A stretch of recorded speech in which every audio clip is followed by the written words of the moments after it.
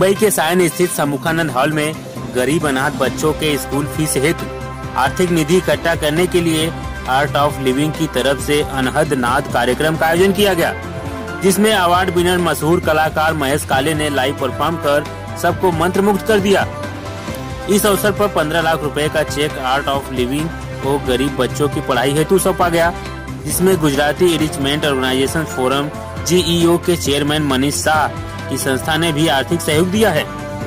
खास बात है कि आर्ट ऑफ़ लिविंग की टीचर्स एवं श्री योगेश्वरी की रूपा ध्रुव और मोनाली का परिश्रम रंग लाया। रूपा ध्रुव जीईओ की डायरेक्टर भी हैं।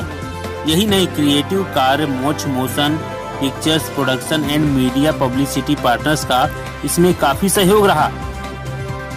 चलिए आपको सुनवाते हैं कि इस मौके पर उपस्थित लोगों ने और क्या कुछ कहा है।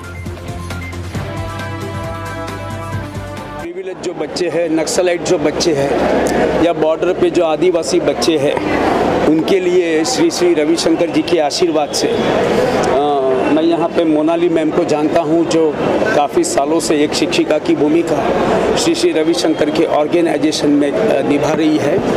उन्होंने ये सोचा जो एक 25 बच्चों से चालू किया हुआ स्कूल था 702 स्कूल में लगभग 70,000 बच्चों को हर तरीके की सुरक्षा वो लोग दे रहे हैं। और ये जो प्रोग्राम इन्होंने किया है मैं चाहता हूँ ये प्रोग्राम ऐसे प्रोग्राम वो लोग हमेशा करते रहे और पब्लिक का जो प्रतिशत था पब्लिक ने जो साथ दिया समर्थन दिया मैं चाहूँगा कि ये प्रोग्राम हमेशा हर कदम हर दम ऐसे ही चलते रहे।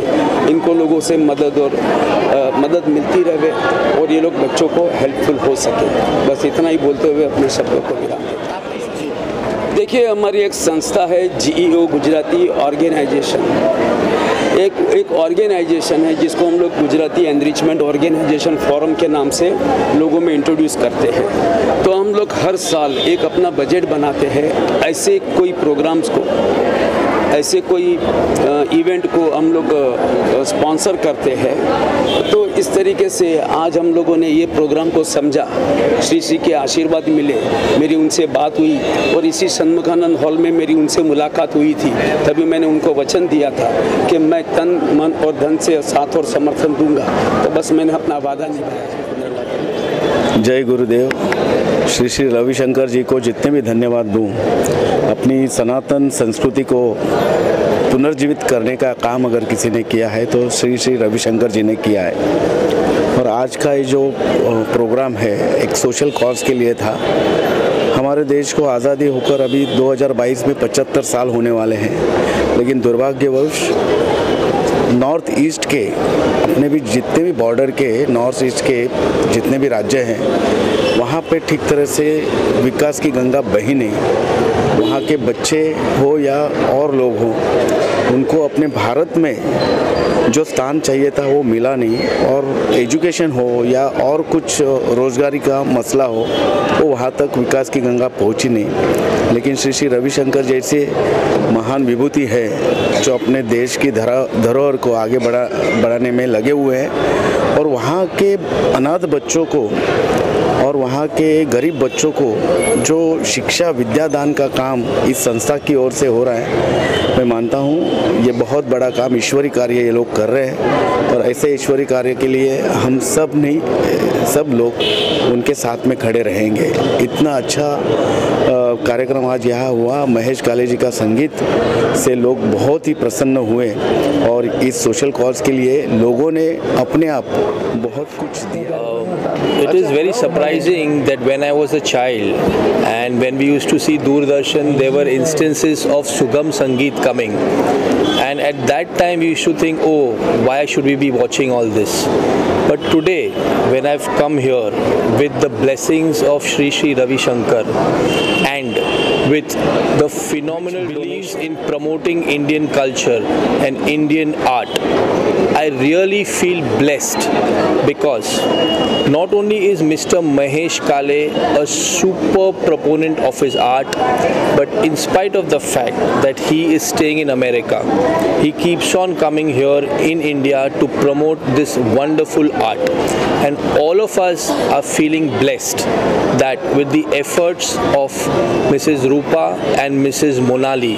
This wonderful event at Sharmukaran Hall has taken place and we are indeed very glad as directors and as the board members of Gujarati Enrichment Organization to be associated with such a कहना चाहूँगी कि सबसे पहले मैं धन्यवाद जाना जान बोलना चाहती हूँ रूपा मैम को कि उन्होंने मुझे इतना अच्छा अपॉर्चुनिटी दिया यहाँ पे आने के लिए।